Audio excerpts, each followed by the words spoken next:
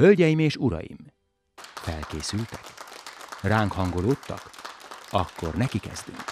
Az Echo TV budapesti stúdiójából jelentkezik a higgadt, mérsékelt és megfontolt házigazda, Bájer Zsolt. Jó estét, jó estét kívánok! Köszönöm szépen, sok szeretettel köszöntöm a kedves nézőket odahaza, és természetesen itt a stúdióban is. Ma fogunk nevetni, meg sírni, jó? Nevetéssel kezdünk, megígérem. Vágjunk is bele. Kisvártatva meg fogunk nézni egy, nem tudom minek nevezzem, egy ilyen kis szatirikus filmecskét. Egy valószínűleg egy létező krimi jelenetet dolgoztak át a szerzők, hogy eh, mai korunkra jellemző legyen. A jelenet, az eredeti, az arról szól, hogy minden valószínűség szerint a svéd-dán határon történik egy gyilkosság, megölnek egy nőt, és egyszerre nyomoz a svéd és a dán rendőrség, a hulla ott van a földön becsomagolva, a svéd rendőrnő helyszínel, és átjön a határon egy dán kollégája. Nézzük meg, varázslatos lesz.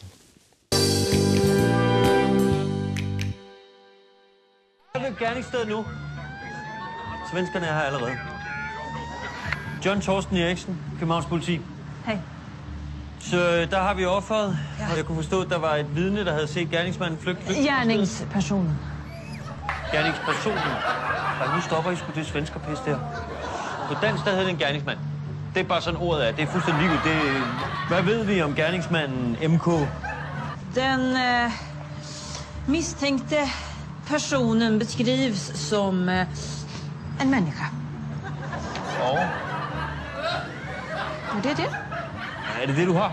Ikke noget øh, hårfarve, hudfarve, noget etnicitet? App, app, app. Du kan inte koppla en mördare till en hel etnisk grupp. Det går inte. Ja, Det er måske meget fint at vide, om vi leder efter en øh, hvid, fedladet mand fra whiskybæltet eller en mørklødet Malmø-gangster. Bare Vi har inga gangsters i Malmö. Nej. Det har I ikke, nej. Ikke så længe I sidder på jeres flade røv op i Stockholm og læser jeres gennemcensurerede aviser skrevet nogle pussy whip feminiserede, MeToo-agtige, kastrerede journalister, der ikke tør kalde en spade for en spade, eller en asylansøger for en stor kriminel narkogangster. Det er da lidt mærkeligt. Synes du ikke, at der bliver skudt flere mennesker her i Malmø på en helt almindelig hverdag, end der gør på et år i Mogadishu? Det kan kigge på mig på den måde der. Jeg er sgu den eneste, der er lidt- lidt løsningsorienteret i forhold til at finde det svin, der har skudt hende. Hen. Han Vi är intresserade i att fånga hen som har slagit ihjäl hen. Og nu stopper det kraften. Jeg kan til nød gå med til, at gerningshænden ligesom kan være en hvilken som helst manager. Men er, er offeret af en kvinde, det er jo bare fakta, ikke? Altså, det kan du jo se. Det er en kvinde. Du kan se, det er bryster, ikke? Tutter. Hvad kalder I det? Bryster. Åh, oh, for sag. Jamen, må man ikke sige bryster Nej, længere? det får man inte enligt svensk lag.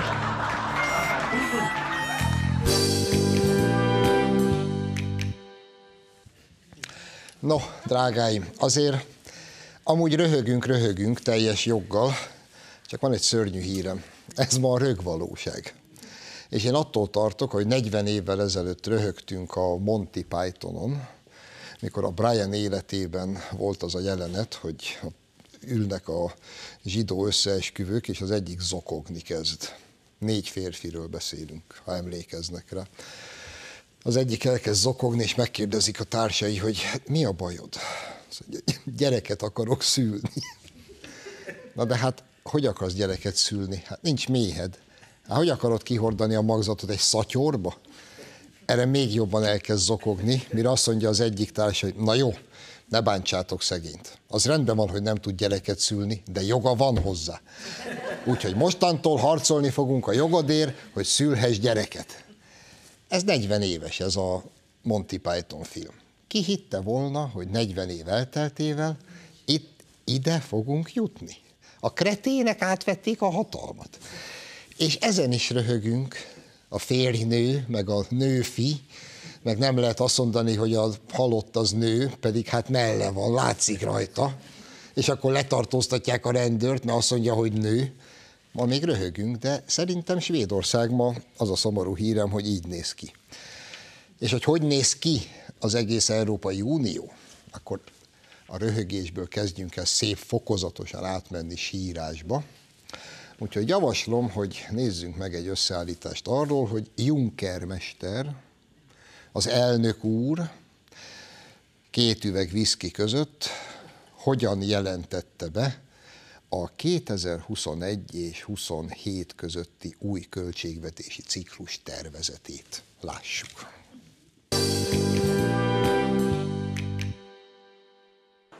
Bemutatták Brüsszelben az Európai Unió 2021-2027-es időszakra javasolt költségvetését. A bizottság elnöke gyakorlatias és eredményközpontú büdzsét vázolt fel a parlament plenáris ülésén. Jean-Claude Juncker szerint csak is egy hosszú távú költségvetés adhat érdemi válaszokat a közösség előtt álló kihívásokra. A javaslat értelmében csökkentenék a felzárkóztatás és az agrárpénzek arányát. A migrációra, a közös védelemre, az oktatásra és a digitális gazdaságra fordított összeget azonban növelnék.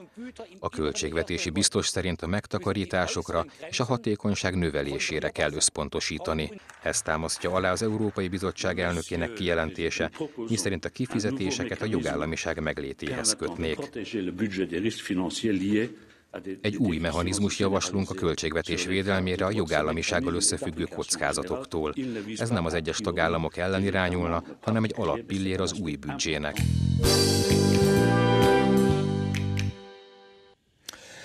No, és mindezen túlmenően Juncker mester, meg aztán persze a többiek, akik ilyenkor meg szoktak szólalni, a következő remek ötleteket vázolták még fel.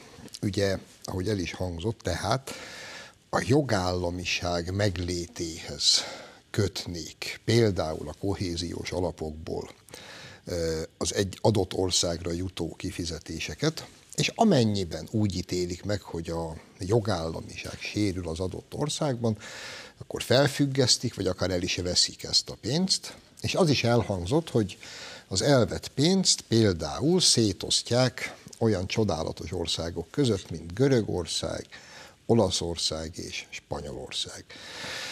És akkor, ha az imént azt mondtam, hogy eljött az idő, hogy csöndben kezdjünk el zokogni, javaslom, hogy álljanak neki. Ugyanis ma is hagyd tegyem föl azt a kérdést, önöknek is, ezen a héten már föltettem, hogy ugyan vajon milyen üzenete van annak, hogy egy teljesen légből kapott, nem létező marhaságra hivatkozva, úgyis, mint a jogállamiság megléte vagy nem megléte, elveszik a pénzt mondjuk a lengyelektől, a csehektől, meg tőlünk, akik más se csináltunk az elmúlt minimum nyolc évben, mint vért pisiltünk, hogy betartsuk például azokat az uniós szabályokat, amelyek a gazdálkodásra, a hiányra, a költségvetési hiányra és egyebekre vonatkoztak, elveszik tőlünk a pénzt ezek után, és odaadják mondjuk annak a Görögországnak, amelyik uniós tagsága óta erre az egészre tesz. Ahova az Isten pénzét beleöntötték eddig, minden látható eredmény nélkül, ahol az Isten pénze elfolyik, elveszik tőlünk és odaadják nekünk, illetve nekik. És még azt is van pofájuk elmondani ezeknek a kretén, idióta gazembereknek, ilyen mondatok, hogy ha Magyarország, Lengyelország, Csehország, meg Szlovákia most jelentkezne az Unióban, nem vennék őket föl. Mondják ezt azok, akiknél tetszenek kapaszkodni? 177 százalék a hiány, Görögország 177. De az olaszoknál meg 110 közelében van. Franciáknál majdnem 196. Hát mondjuk a görögök esetében az uniós előírás háromszorosa. És akkor oda még adunk pénzt tőlünk, meg elveszik. Mert nincs jogállam. Az, és miért is nincs jogállam? Mert nem fogadjuk be a migránsokat és pusztán azért, mert nem fogadjuk be a migránsokat, ezért egy Sargentini nevű tündérbogár, akinek nyilván számos hiányossága van az életében, jelentéseket írogat, a jelentésének alapanyagát kiktől kapta? Saját bevallása szerint. A 444, meg az Index, meg a HVG, meg az átlátszó.hu munkatársaitól. Hát varázslatos, nem? Például azt nem tudom, hogy Sargentini asszony, ezek után teszem föl a kérdést, engem miért nem kérdezett meg? Hát miért vagyok én rosszabb, mint a 444 újságírói? És akkor összeállít egy jelentést, hogy így gyakorlatilag itt, drágáim, nyilván önöknek is föltűnt. Hitler harmadik birodalma egy kócos babazsúr volt ahhoz a diktatúrához képest, amit Orbán már rég bevezetett. Itt tartunk most, egy Sargentini szerint. Igen, már beszéltünk róla. Igen.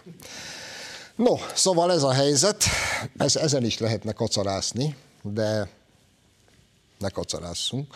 Ha már kacarászni akarunk a sok sírás után, akkor nézzünk meg egy másik bejátszót.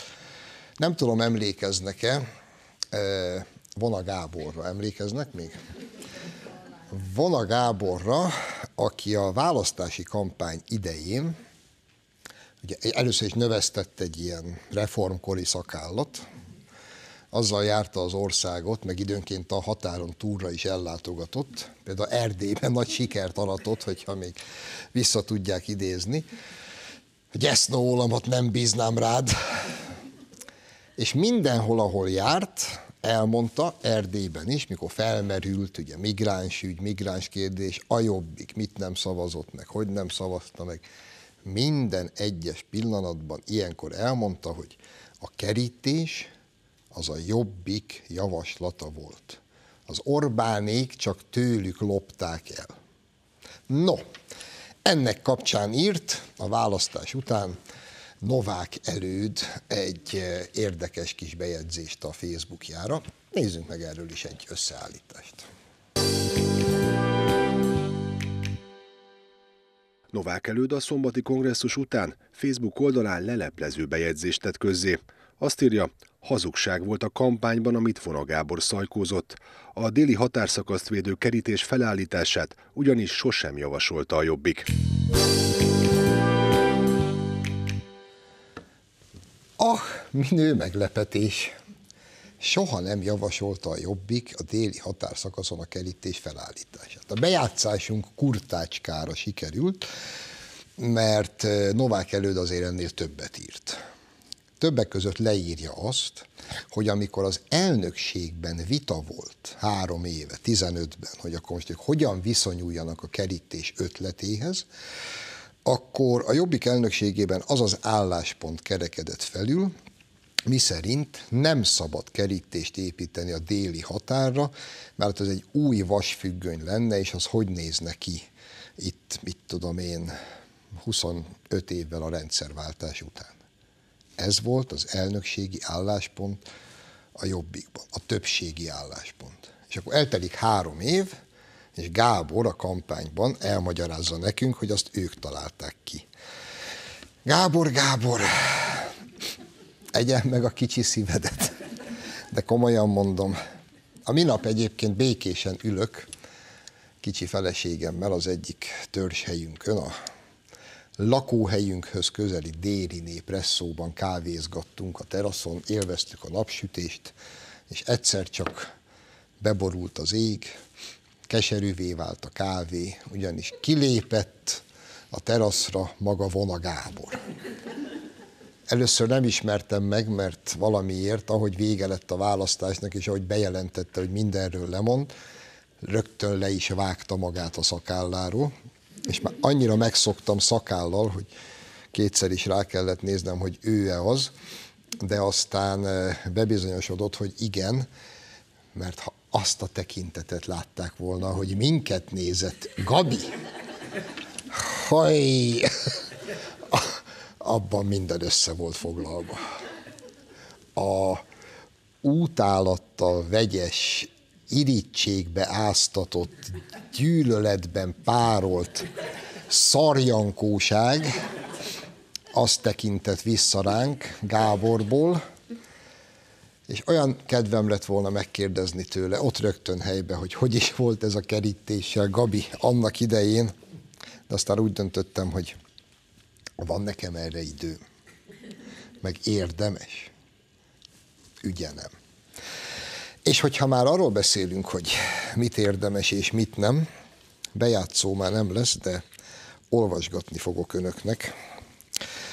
Ugyebár amióta megnyertük a választást, harmadszor is két harmaddal, azok, akik a választás előtt minden nap elmondták, hogy majd mi nem fogjuk a választás eredményét elismerni, és majd anarhiát és káoszt akarunk csinálni.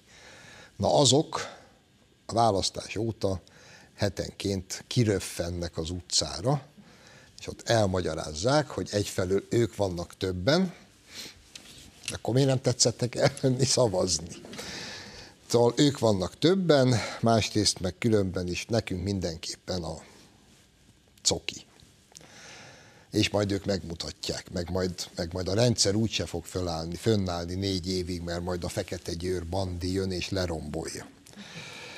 Na most ezeknek a tüntetéseknek az egyik fő szervezője egy Homonnai Gergely nevezetű fehérje halmaz.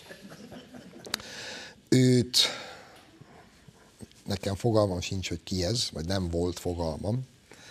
Akik a Facebookon járkálnak, azok onnan ismerik, hogy hát egyrészt ott szokott ugye irogatni, meg van egy macskája, és akkor azt a remek viccet találta ki, hogy a macskája nevében jelentett meg ilyen posztokat, mint hogyha a kedves macska írná, őróla beszélünk, ő Homonnai Gergely, a demokratikus koalíció nagy támogatója és szerelmese, és a mostani tüntetések főszervezője.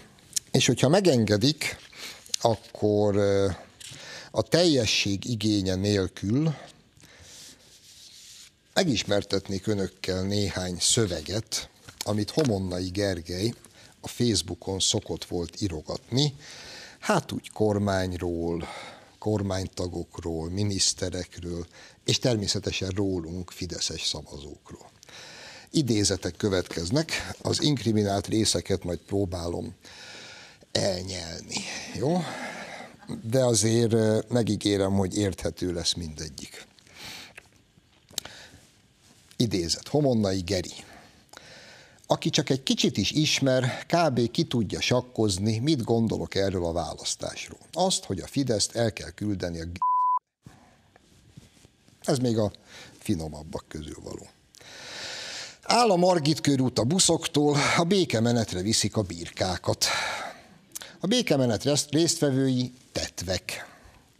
Az én fideszes ismerőseim gyárva férgek. Ha fénysebességgel futsz egy fa körül, akkor lehetőséged nyílik arra, hogy meg magad. Ugyanez érvényes arra az esetre is, ha még egyszer a Fideszre szavazol. A k***nyát az összes Fideszesnek áprilisban szavazzál. Mikor takarodik már el az összes rohadék Fideszes k***nyába, és mikor nem lesz ciki Európában az, hogy magyarok vagyunk, mert ma az. A Magyar Baptista Egyház kinyalhatja a szőrös kis seggemet. Erzsikém szerint legyen bolhás minden fideszes. Szerintem meg legyen átkozott minden fideszes. És akkor a végére hagytam a kedvencemet. Novák Katalin egy ostoba hülye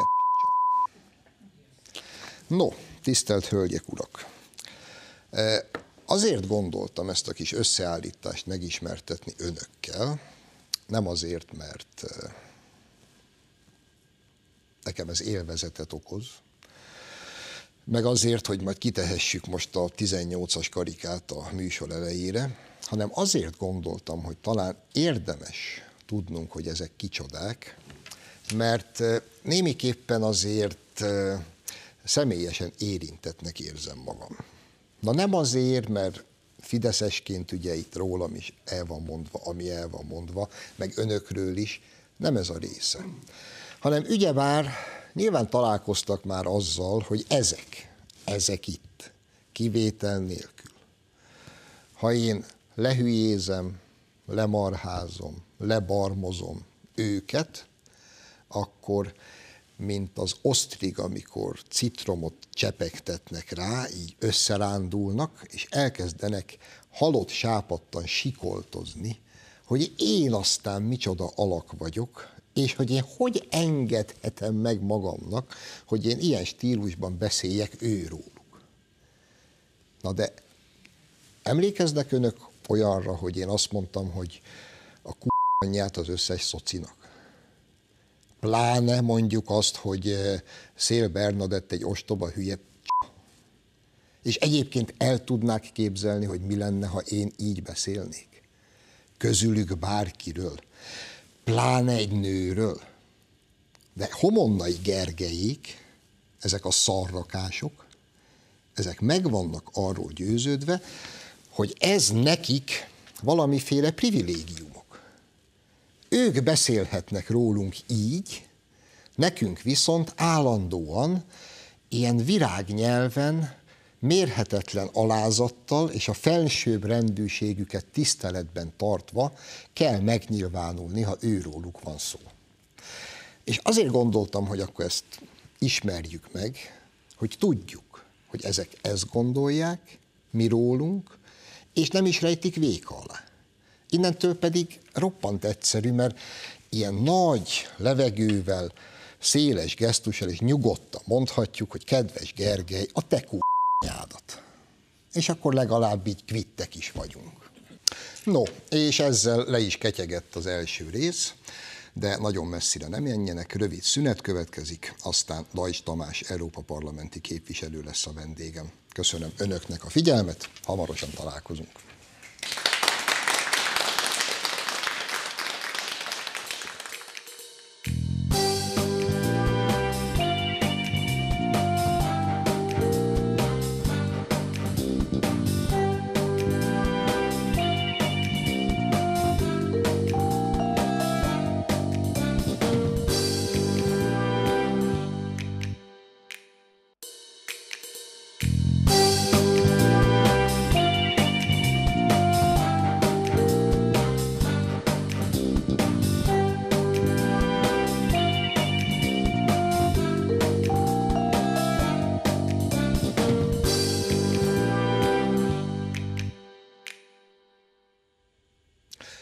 Már is folytatjuk a műsort. Vendégem a stúdióban Dajs Tamás, Európa Parlamenti képviselő, egyben kedves barátom. Szerbusz, köszöntelek. Szerbusz. Köszönöm szépen a meghívást.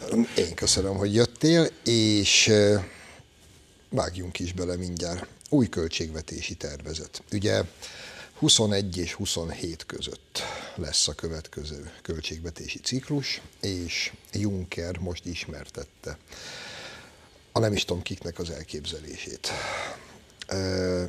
hát hogy is mondjam, csak bizarr. bizarr dolgok kerültek napirendre. Annak ellenére mondom, hogy bizarr és meglepő, hogy azért már több mint egy éve zajlanak ezek a viták, kiszivárogtatások, suttogó propaganda, hogy majd most a renitens kelet-közép-európai országokat majd pénzügyi eszközökkel fogják megrendszabályozni. Ergo, aki nem áll be a sorba, attól akár meg is vonják a kohéziós alapokból neki szánt pénzt. Kezdjük el visszafelé a beszélgetést. Szerdán szokásos rádióinterjúban miniszterelnök úr úgy fogalmazott, hogy eh, csigavér, nyugalom, hosszú lesz még ez a vita. Mire célzott ezzel?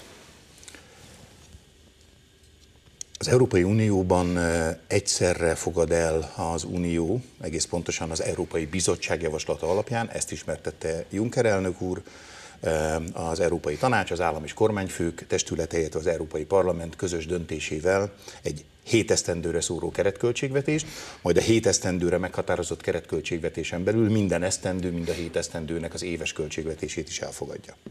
Na most a jelenleg futó 2014-20 közötti hétesztendős kerestköltségvetésnek, amikor a javaslatát az Európai Bizottság ismertette, akkor a helyzet ugyanez volt. Az Európai Bizottság a lehető, a, a minden világok lehető legjobbikát megvalósító költségvetési tervezetként állította be a maga javaslatát, ezzel éppen 28 Európai Uniós tagország kormánya, meg az Európai Parlamentnek majdnem a teljes egésze nem értett egyet, és miniszterelnök úr nyilvánvalóan erre utal, hogy most elkezdődik egy igen hosszú, 2018 májusát írjuk, legjobb esetben 2019 év elején, de reálisabb az, hogy 2019-ben az európai parlamenti választások után, valamikor 19 őszén vagy 20 első felében születik majd döntés. Tehát egy minimum egy éves, de könnyen lehet, hogy két éves tárgyalás sorozat. Az Unió tagországainak a kormányai egyeztetnek egymással, a tanács, az állam és kormányfők testülete az Európai eh, Parlamenttel, és nyilvánvalóan mindenki a maga érdekét fogja nagyon helyesen képviselni. A költségvetési, tehát éppen ezért visszautalva erre nem arról van szó, hogy a költségvetési törvényjavaslatát vagy a költségvetési tervezetre vonatkozó javaslatot az Európai Bizottság most május másodikán ismertette, és valamikor egy-két-három hónapon belül elfogadják majd az arra illetékes testületek ezt a költségvetési tervezetet, hanem nyugalom, csigavér, kellő muníció, kitartás, higgadság, és minden rendelkezésünkre álló fronton, a tanácson belül is, illetve az Európai Parlamentben, ahol igazából a magyar érdekek melletti kiállás csak tőlünk, Fideszes és KDNP-s képviselőktől várható, minden fronton az igazunkért kell küzdeni. Itt nyugodtan mondhatjuk, persze az ellenzék az mindig túlzásnak tekinti, minden fronton harcolnunk kell majd, annak érdekében, hogy a lehető legtöbb uniós forrás érkezhessen Magyarországra.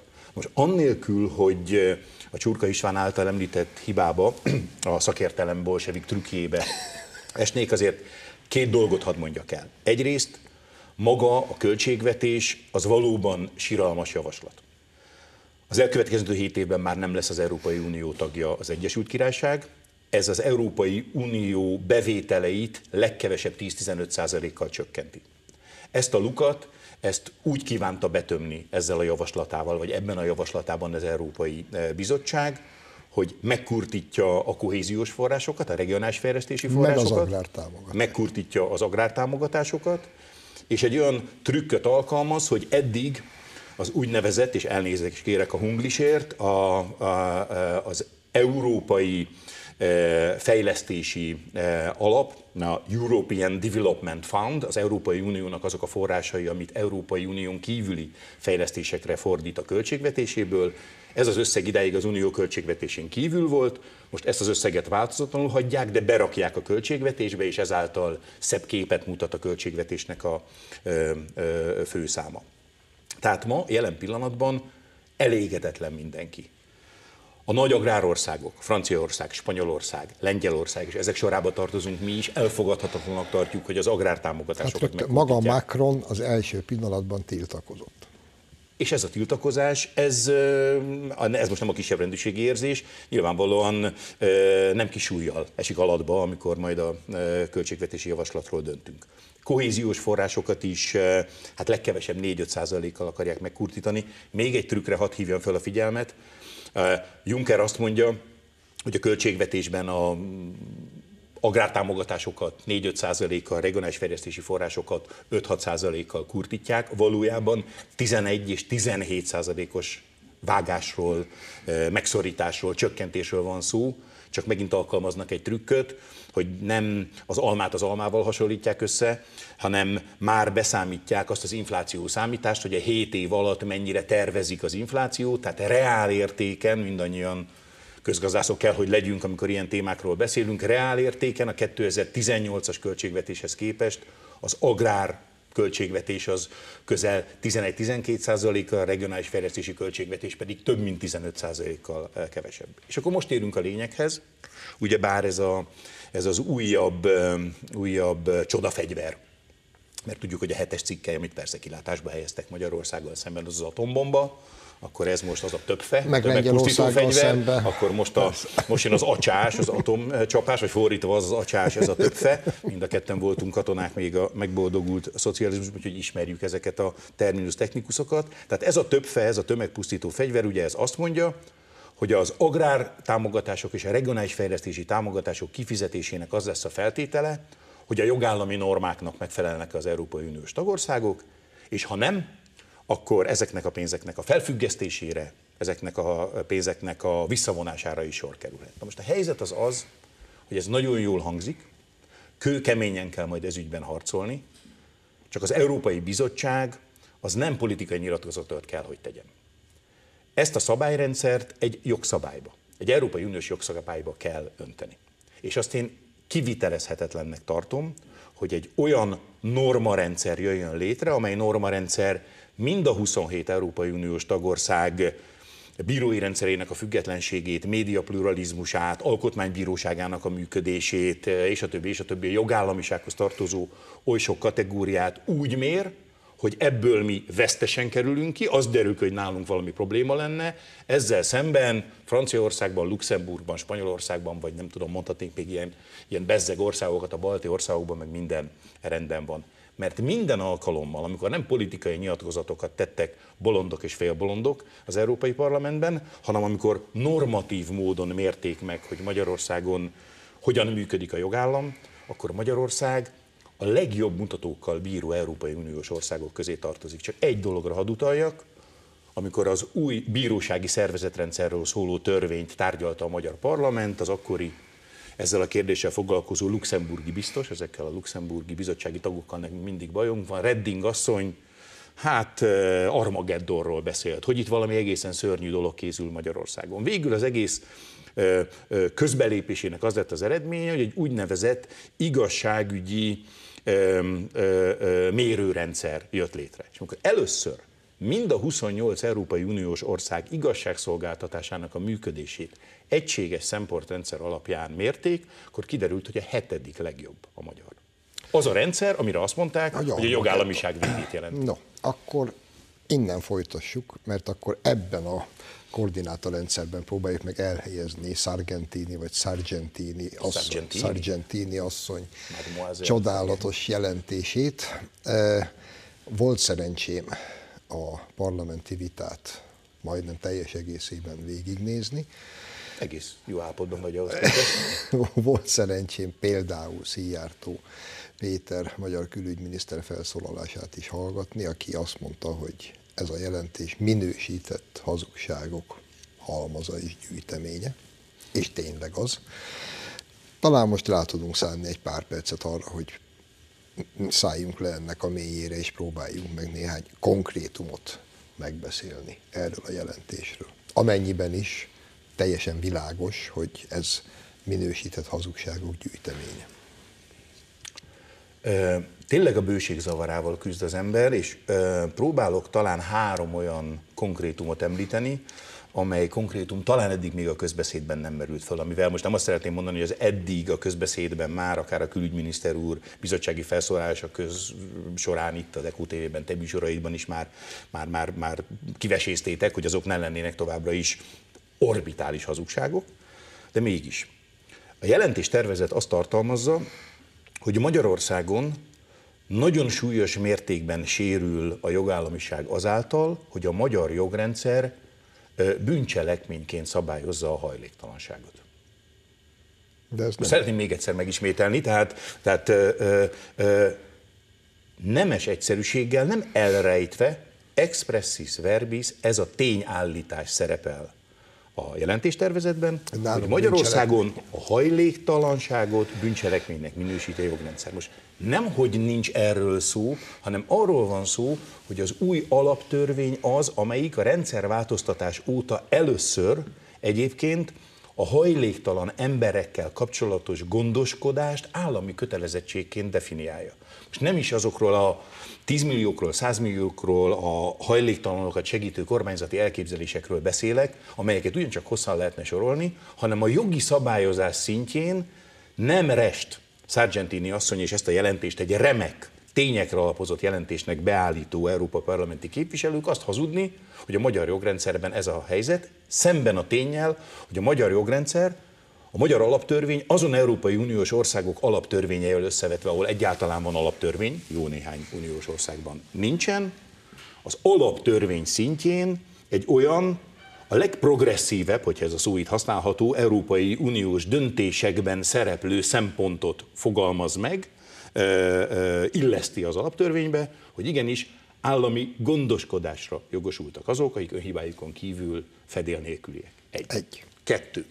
Az Európai Bizottság Költségvetési Ellenőrző Bizottsága véleménnyel segítette a Sargentini jelentést. Ebben a véleményben az a tényállítás szerepel, a jelentésről 2018 április utolsó napjaiban döntöttek. Ebben a jelentésben az szerepel, hogy Magyarországon az ő általuk vizionált hatalmas korrupciót az is elősegíti, hogy Magyarországon nincs E, azaz elektronikus közbeszerzési rendszer, tehát a közbeszerzéseket azok papír, azokat papír alapon kell intézni. Most ehhez képest... Nem, ez nem igaz, sem. Ez Ke- sem. 2018. április 15-től ez a törvény hatályba lépett. Az Európai Unióban jelenleg az uniós tagországok kevesebb, mint harmadában Van. működik e-közbeszerzési rendszer, tehát hogy elektronikusan kell a közbeszerzési felhívásokat közzétenni, és minden pályázónak benyújtani a, a maguk anyagát. Hogy lesz ez a törvény, erről egy évvel ezelőtt döntöttünk, a szavazás pillanatában már hatályba lépett, nem zavart senkit sem a Költségvetési Ellenőrző Bizottságban, hogy úgy döntsenek, hogy egyébként e, arra hívják fel a figyelmet, hogy e, Ezáltal a e, ezt jó lenne bevezetni. Oké. Meg tudtuk azt csinálni, hogy mire döntöttek, arra már be is vezettük ezt a rendszert. A harmadik, azt állítja ez a jelentés, mármint ez a vélemény, Költségvetési Ellenőrző Bizottságban, hogy Magyarországon nagyon súlyos korrupciós gyanúkat fölvetve a közbeszerzések 36%-ában egy ajánlattevő van csak. A helyzet az, az, hogy ez 2016-ban így volt. 2017-ben ez a szám 26%-ra csökkent. A 36% is kisebb, mint az Európai Unió átlaga, de a 2017-es esztendőben, tehát tavaly, már fél évvel ezelőtt, ez a mérték, ez 36%-ról 26%-ra csökkent. Továbbra is mi szerepel a jelentésben? Magyarországon 36. az egy ajánlattevős közbeszerzések aránya 36 százalék, és ez vélhetően a korrupció De még, egyszer, de még egyszer ismételjük meg a néző kedvéért, ez még mindig az A uniós 36% is is az, az uniós átlag alatt van. Ezt 10%-kal csökkentettük. Tehát ma éllovasok vagyunk, hogy Matolcsi György egyik kedvenc kifejezését eh, használjam. Napestig lehetne még ezeket sorolni, de nem ez a hely, nem ez a kérdés. Nem arról van szó, hogy itt a tények számítanának. Eh, Remélem nem feszíti szét a műsor kereteit, igyekszem 20 másodpercben elmondani, amikor az alaptörvény rettenetességéről volt vita az Európai Parlamentben 2011-ben, 12-ben, akkor volt egy meghallgatás, ahol egy Dán kommunista képviselőnő elmondta, hogy a magyar alaptörvény az minősíthetetlen, hiszen különbséget tesz hívő és nem hívő magyar ember között a hívők javára. Teljes értetlenség. Megkérdezi a magyar kormány képviselő, hogy de mégis mire gondol? Hát olvasom az új alaptörvény első mondatát, Isten áld meg a magyart. Mire jelentkeztem, hogy szeretném azt elmondani, hogy ez a magyar himnusz első sora, és nem arról szól, hogy a hívő és nem hívő emberek között különbséget tenne. Oké, okay, ő ezt kénytelen elfogadni, de a véleményét akkor sem változtatja meg. Ja, jó. Nagyon köszönöm a tárgyszerű eszmecserét, kedves képviselőtársnőmet. Ez a helyzet. Ez a helyzet. A helyzet az az, hogy, hogy azt a politikát, azokat az, az, azt az értékválasztást, amit a magyar kormány képvisel, azt utálják, elutasítják, gyűlölik, megvetik az európai döntéshozók, és ezért büntetni akarják És ennél már csak egyet vetnek meg jobban, hogy ez a kormány, amely ezt az értékrendet képviseli, harmadszor ö, nyer választást kétharmaddal. Igen. Ezt meg nem hajlandóak elfogadni. Hát Sargentini asszony elmondta azt, ami valljuk be, eh, szerintem európai parlamenti képviselőtől a lehető legnagyobb túlzás. Eh, Szerintem a dolog súlyához képest kis jelentőséget tulajdonított eddig ennek a magyar nyilvánosság. Ő azt mondta, nekem igenis jogom van azt megmondani, hogy ez a mostani kormány szerintem rossz, és én ennél jobb kormányt akarok Magyarországon. Nagyon szépen köszönjük, képviselőasszony. A mi tudomásunk szerint az az európai alapérték és ez a magyar alkotmányos szabályozás, hogy erről a kérdésről nem holland zöldpárti képviselők döntenek, hanem a magyar választópolgárok. abban a pillanatban, hogy Sargentini asszony beadja az állampolgársági kérelmét, azt megkapja, letelepedett a 22-es választáson, simán szavazhat, vagy ha, vagy ha úgy gondolja, indulhat is. Welcome. Sok szeretettel várjuk. És akkor És jelentősen növelné a Magyarország ellenzék szavazati számát ezzel az egyel is. három és fél percünk maradt, és ezt azért rászánnám az utolsó kérdéskörre. Amikor a kedves nézők ezt az adást látni fogják vasárnap este, akkor már túl leszünk azon a csodálatos ünnepségen, amelynek keretében Juncker elnök úr Karl Marx szülővárosában, Trierben felavat, vagy legalábbis ünnepi beszédet mond egy szép nagyméretű, friss, új Marx szobor talapzatánál. No, ebbe, ja, a Marx szobrot Kína. Ado, Kínai népköztársaság, Kínai népköztársaság adományozta.